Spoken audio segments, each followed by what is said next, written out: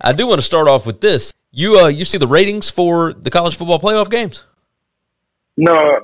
So 16.1 million for Bama Cincinnati and 16.5 million for Georgia Michigan and really it's a disaster because those are not exactly higher numbers than what we had for Ohio State Michigan or Alabama Georgia in the SEC championship game.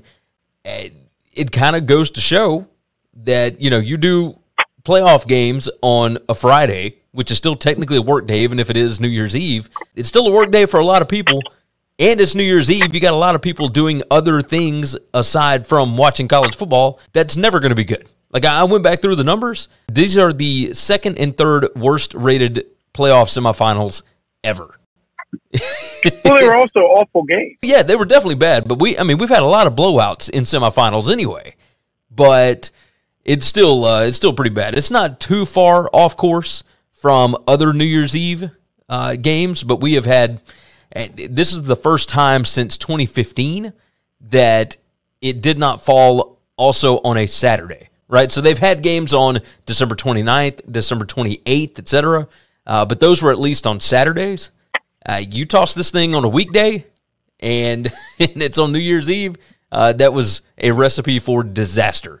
So it, it was down from last year. Bama Notre Dame last year had 18.9, and Ohio State Clemson last year had 19.1. And both of those actually rated better because they were on New Year's Day than the national championship game did. So we'll see what goes what on this it, time. What would it take for college football to hand over power to to somebody to be some type of commissioner to make basic decisions about things like this and negotiate these things from a central like perspective? Uh, you'd have to. I don't even know the answer to that question uh, because there are so many different people that have power in this. I, I don't know what the right answer would be. Like, it, but here's the thing: none of those people give a damn about it being played on New Year's Day or New Year's Eve or New like they just want to make the most money possible and they just want to have the best event possible.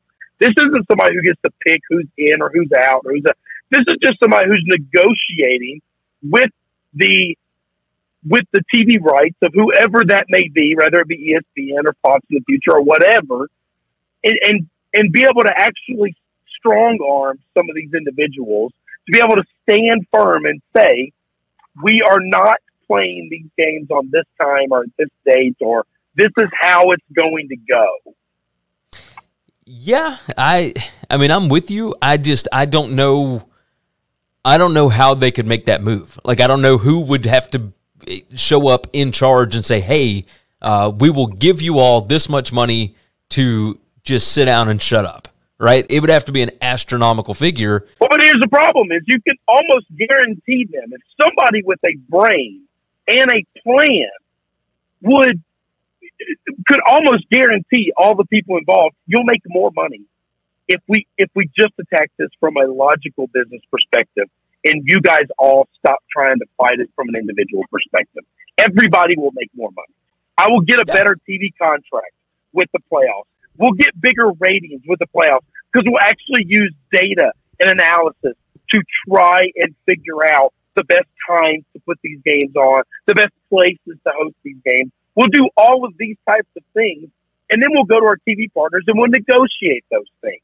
And I can assure you, when it's done, the numbers will be substantially higher than they have been, and the product will be better.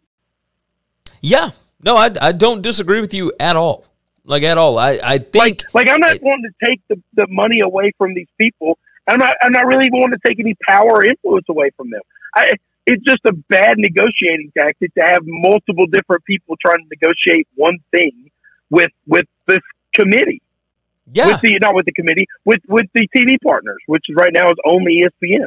Yeah. But I, no. I can assure you that if one person says, I am now the commissioner of just handling the playoff, you can tell me how many teams are in. I don't even get a say in that, okay? But if you tell me it's four and I got to negotiate three playoff games, when they're going to be held, what time they're going to be held, the locations, all that stuff, I promise you, if you just sit back and let me do it. And you say, we wanted to rotate around these six locations or these seven locations because these bowls are important. But you got to give me power, okay? So when I say the Rose Bowl gets the playoff, all right, that then then they're going to do it when we tell them to do it, or they're not going to do it, or they can take it out of the equation. Like somebody has to have the authority to say, "This is when we're going to do this." Sugar Bowl, you're not kicking off at 7:45, okay?